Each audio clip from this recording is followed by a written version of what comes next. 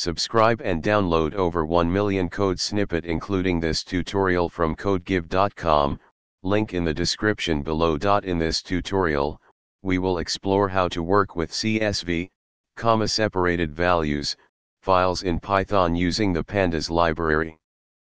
Pandas is a powerful data manipulation library that provides easy to use data structures and data analysis tools.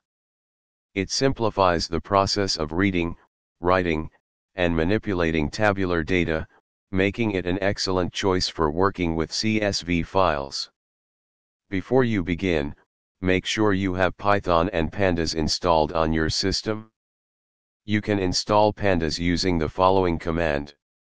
Let's start by learning how to read data from a CSV file into a Pandas data frame. In this example, replace path slash to slash your slash file dot csv with the actual path to your CSV file.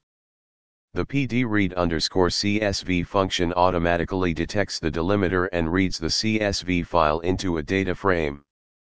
Now, Let's see how to write data from a pandas data frame to a CSV file. In this example, a sample data frame is created, and the to underscore CSV function is used to write it to a new CSV file.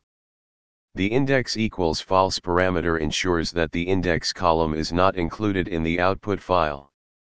Pandas provides powerful tools for data manipulation. Let's explore some common operations. These are just a few examples of what you can achieve with pandas.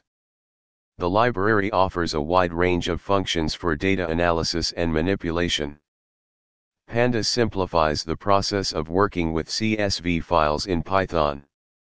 Whether you are reading data from a file, writing data to a file, or performing complex data manipulations, Pandas provides an efficient and user-friendly interface.